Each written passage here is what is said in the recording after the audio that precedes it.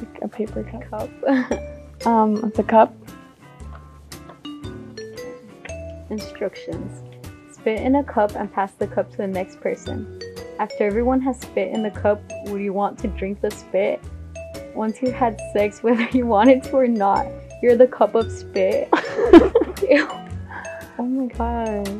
I'm not a cup of spit. That's just rude. That's devaluing someone.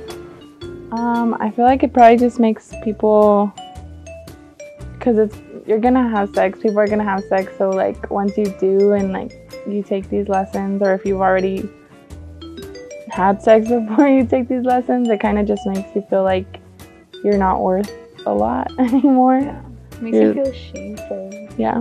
Which is like so bad because it's like our society as it is, like it's already like constantly shaming you. So like if this is something they do at schools, like for your own like teachers or like people you know to be telling you this, like that's damaging. Yeah. Um, oh, okay. I was gonna say I think that it's telling you that once you've had sex, you're like dirty and you're being literally being compared to a cup of spit.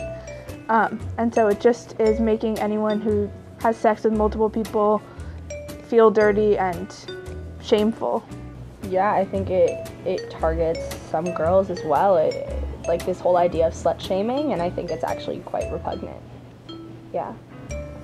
Well, if I was to learn that lesson at school, I think I would go with it. However, because you can't argue in school with the teacher, so I wouldn't I wouldn't be able to speak up about it how I want to. But I don't think that this really defines what sex is, if you ask me.